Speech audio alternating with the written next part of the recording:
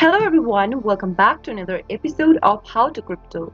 In today's video, I'm going to show you a quick and easy step on how to log into your Coinbase wallet. To log into your Coinbase wallet and access it online, here is how you can do it. Open up your preferred web browser or simply open up your Coinbase app on your preferred device. In the URL box, type in www.coinbase.com and press enter on your keyboard. Doing so will take you to the official webpage of Coinbase. To log into your existing wallet, click on the sign in button at the top right.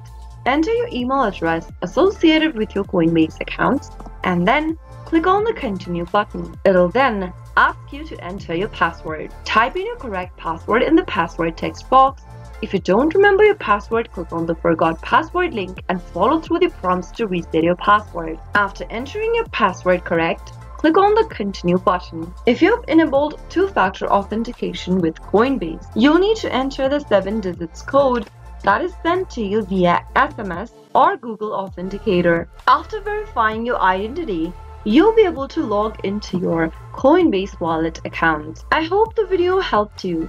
If it did, go ahead and give us a thumbs up. If you have not yet, subscribe to our channel by hitting that subscribe button. Press the notification bell so that you'll never miss another upcoming upload from us. I'll be back with more videos like this. Thanks for watching.